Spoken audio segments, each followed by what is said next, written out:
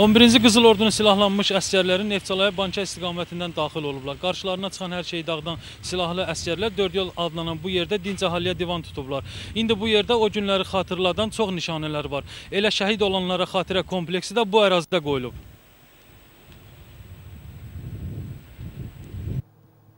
Yanvarın 25-də Neftçalada Qızıl Ordunun silahlı əskərlərinin güllələrinə 7 sakin tuş gəlir.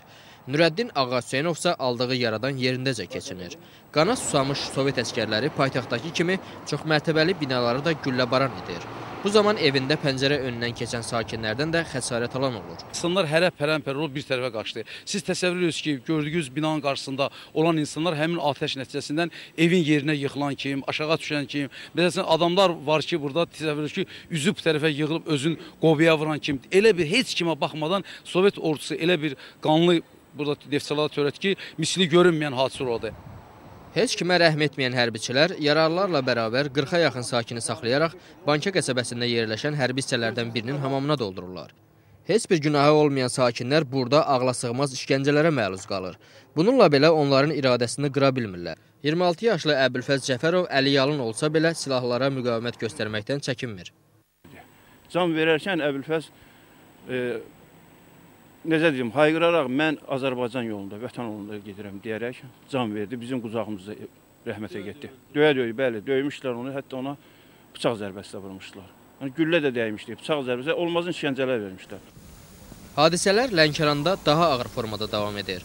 Hərbiçilərin rus ailələrini şəhərdən köçürməsi Lənkəranda da dinc əhaliyə divan tutulacağını göstərirdi. Lənkəranda proseslər həm də hakimiyyət böhranı yaradır. Artıq səbir kasası dolan xalq özünün düşündüyü kimi qərarlar verməyə başlayır. 1990-cı il yanvar ayının 10-dan 11-nə keçən gecə ölkədəki vəziyyətlə əlaqədar olaraq, Qarabağdakı vəziyyətlə əlaqədar olaraq Sovet hakimiyyəti orada devrilmişdi. Mərkəzi hakimiyyət və yerli hakimiyyət orqanları əsas məsələləri xalqdan gizlətdiyinə görə biz də burada analoji olaraq dinc yolla partiya sovet orqanlarının, inzibati orqanların fəaliyyətini dayandırıb hakimiyyəti ələ aldı. Hakimiyyətə olan son inamlarını itirən insanlar kütləvi olaraq partiya sıralarını tərk etməklə təsəlli tapırdı. Bu partiya qançandır. Mən ona nifrət edirəm. Yanvarın 25-də Müdafiə Komitəsinin 100-dən çox könüllüsü qana susamış imperiya hərbiçilərini şəhərdən yayındırmaq üçün bu meşələrə çəkildilər. 26-sında isə zirehli texnika və vertolyotlardan endirilən desant dəstələri Haftonu qəsəbəsini mühasirəyə alaraq qarşıya çıxanları gülləbaran etdilər. Sovet imperiyasının silahlı əskərləri ilə üz-üzə dayanan Lənkəran sakinlərindən 6-sı şəhid oldu. Ondan çox insan güllə yarası aldı. Onlarla mübariz oğlumuz isə həbs olunaraq işgəncə və təzyiqlərə məruz qaldılar.